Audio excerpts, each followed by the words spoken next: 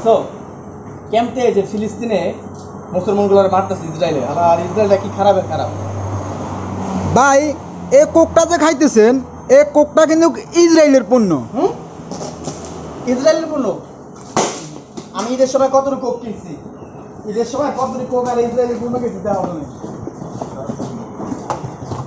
এই যে মাথাটা নষ্ট না এই যে ইসরায়েলের পণ্য কিনছি এগুলো তো মানে এগুলো এই দেশে মালয়েশিয়ার কোম্পানিরই এটি আরবিয়ান কোম্পানি আল্লাহর গোষ্ঠী মারি ইসরায়েল ইসরায়েলের পণ্য বোধহয় আমরা ব্যবহার করব। যেখানে ফিলিস্তিনের মুসলমানরা বাইরে শ্বাস করে, এই ইসরায়েলের পণ্য এটা হবে এটা এটা গোষ্ঠী মারে যে দেখো ইনট্রেক এখনও কিন্তু খুলি নাই। ঈদের সব আনছিলাম।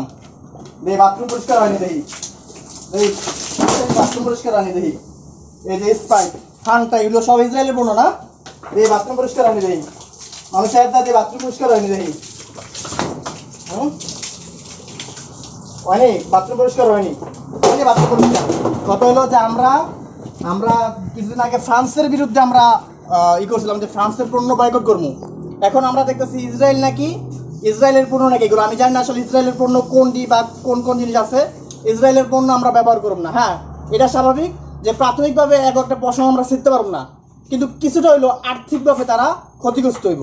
যেহেতু ইসরায়েলের পণ্য সারা বিশ্বে চলতেছে, এই টাকাগুলো ব্যবহার করে সেই ট্যাক্সের টাকা দেয় সরকার গোলা বারুদ কিনা বোমা কিনা ফিলিস্তিনের শিশুর উপরে নির্যাতন করে, ফিলিস্তিনের মুসলমানের উপরে নির্যাতন করে। অর্থাৎ আমরা যাই না শুই না, এই ইসরায়েলের পণ্য ব্যবহার করতে পারি না।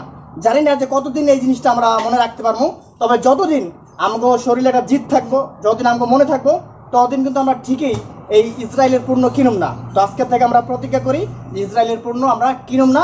এটা কোন কোন জিনিস আছে সেগুলো আপনারা ভালো জানেন, অনেকে জানেন অনেকে জানেন না। যারা জানেন ইসরায়েলের পণ্য কোনগুলা, এগুলো আপনারা কিনেন না। বাস আজকে থেকে প্রতিজ্ঞা করলাম যে ইসরায়েলের পণ্য আমরা আর ব্যবহার করুন না।